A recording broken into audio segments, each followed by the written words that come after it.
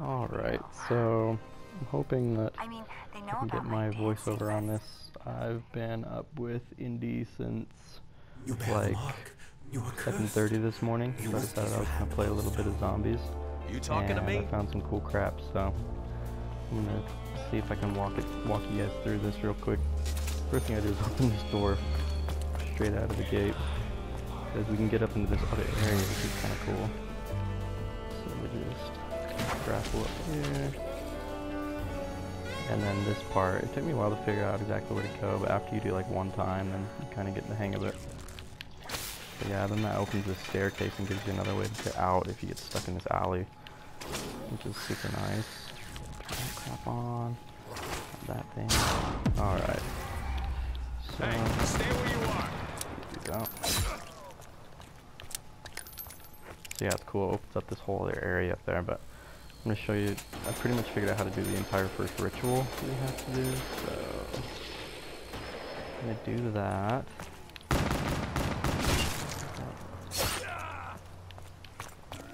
Keys are useful.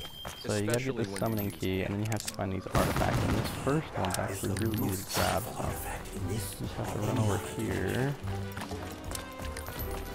Okay, it's double XP weekend this weekend too, so I've upgraded like tons of my stuff and the zombies just playing this morning. And you gotta come over this box right here, and then what happens is it turns this crane on, and it'll drop this box right here that actually has one of the artifacts that we need in it. I just wanna make sure, oh, I gotta turn this thing on here. Just because.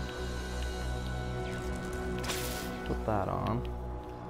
And then we go grab this fountain pen or whatever. What just happened? Someone slipped me a Mickey? Oh, first I gotta get the shotgun though. It's nice to have the shotgun when I freaking grab that thing. I could have done with this back come on the beat. Yeah, as you'll see, I freaking decked out the shotgun with Oh yeah. like a laser free sight, and I got all this stuff on it, so. Playing on the weekends, you upgrade super fast.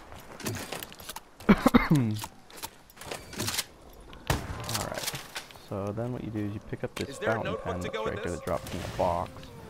This guy shows up, and then you got his buddy. We must hurry. We received a hasten Okay, and now that you have both the fountain pen and the summoning key thing, we can come up this way. And it leads into this other area over here. I'm gonna try to do the ritual. Sometimes I die when I do this, but you just come to this altar, you drop the pen, and you everything down, and then stuff starts going nuts. So usually I just run this circle right here. Seems to work pretty well.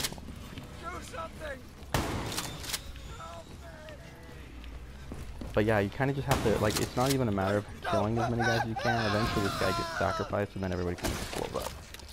And once that happens, then it drops this worm thing I think they're gonna need later. So, You know, I can pick think that of a few places I'd like to shove this. The worm must be taken to the sacred place. Um, and then Only actually then will put you that have means here. to repel the Emrakul. Sacred place. Really? Then what? Some more monster comes for its babies? And then there's one other thing too I want to show you. Only then can we Since I'm prevent playing. I know this is gonna end up being kind of long, but by invoking the um, yeah, if we go to the waterfront district, which actually is kind of cool anyway because this red ball right here that's broken actually says that there's going to be a certain power up this way. I watched that online. If you do that and then you grab this beast thing, grapple, go right there. Come around this way, turn this staircase on, and then that actually is going to lead you to this machine right here called Juggernog, and this gives you extra health, which is totally awesome. Like, I think if everybody in our group got that, then we'd be in good shape, but yeah, come out of that. Where Okay, now the next thing I want to show when I was you, like this is all Yeah, random for crap that I saw this morning. So, finally, there's this door right here. If we break through that with the beast, then there's a portal in there that takes us to this other area. Yeah. Which is great, because this gives you another way to get out if you need to. Give you all a final warning, but I think I'd rather just put you down. find a beast to do it. So, I have to run all the way over here. Oh yes. There we go. Let's see if I can make this run right here. This will be interesting.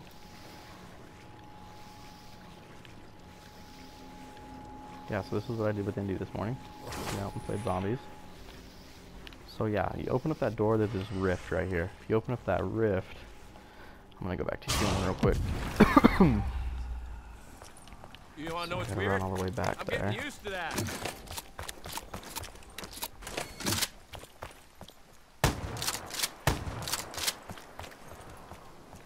If I can get back here, then I mean sometimes there's a mystery box here too. Like they switch places. These are all things I've learned.